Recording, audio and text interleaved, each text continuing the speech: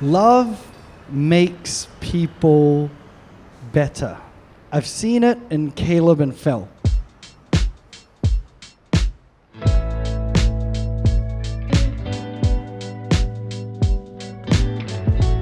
Love inspires you, right? To want to do things for each other. We've been through so many challenges over the years, individually and together. I'm so glad you've been my partner through it all. Although I'm not sure about many things in life, I'm sure that I love you and I promise to choose to love you every day.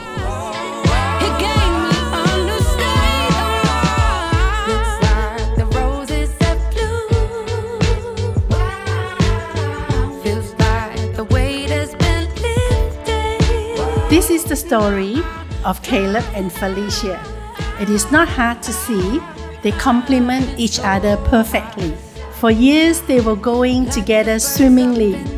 Then Caleb decided to go to Germany to finish his studies, he said.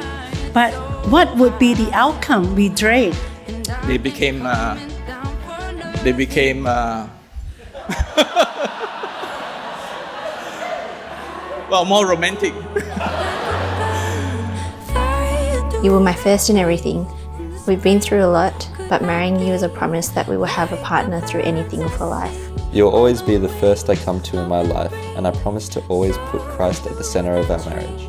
I can't wait for the beginning of our new life together. I love you.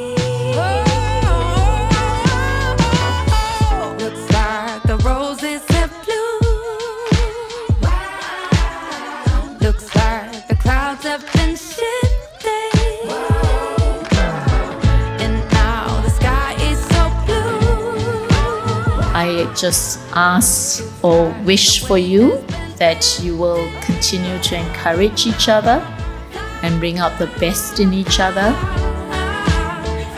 At some point, just around the time in year 12 when she told me, Daddy, I have a boyfriend.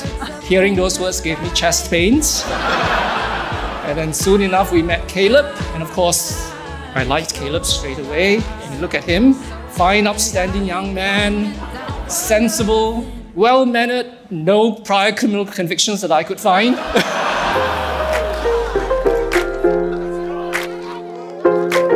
Caleb and Fel, I've seen you both steadily build God into your life. I'm so thrilled in the years that I've known you, how you've brought out not just the best in each other, but you've encouraged each other to step up to Christian maturity.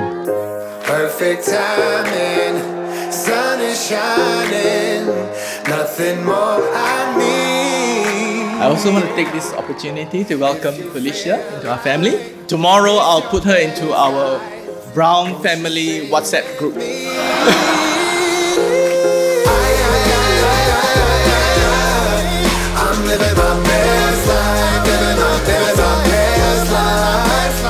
I promise that you will be my sole confidant and the one who knows me best. And although I'm still amazed at how God orchestrated our story, I promise to always speak God's truth into your life and choose to show you more love than you'll ever need.